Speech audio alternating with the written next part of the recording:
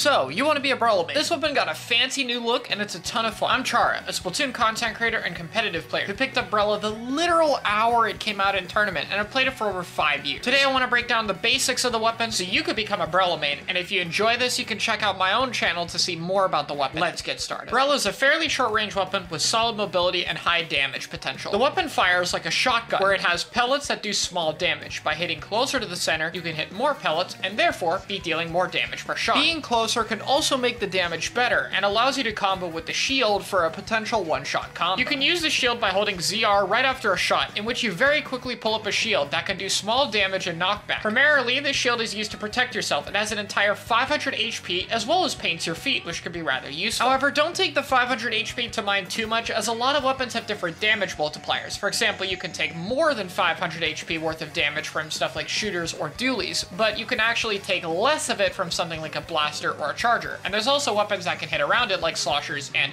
well, once again, blasters. If your shield breaks, you'll be stunned for a little while, and it'll take a long time to regenerate. You can be careful and watch the HP by seeing how much of the opponent's ink is on the shield. The more of it, the more damage you've taken. On the bright side though, whenever your shield isn't up, it regenerates its health immediately and incredibly quickly. This means you're encouraged to shield for a little bit, then drop the shield and either swim around immediately, shoot, or combine either of those with a jump to heal your shield health a bit, get some damage off, and pull it back up to protect yourself, allowing you to stall and take fights at your own pace. Last thing to note for the shield is if you hold it out for 3 seconds, it'll launch it, which while it does give you double the HP resistance, meaning it can take more damage, it also kind of removes the shield and it goes way too fast to keep up with easily. So unless if it's a very specific situation where you can follow the shield, I wouldn't recommend launching it that much.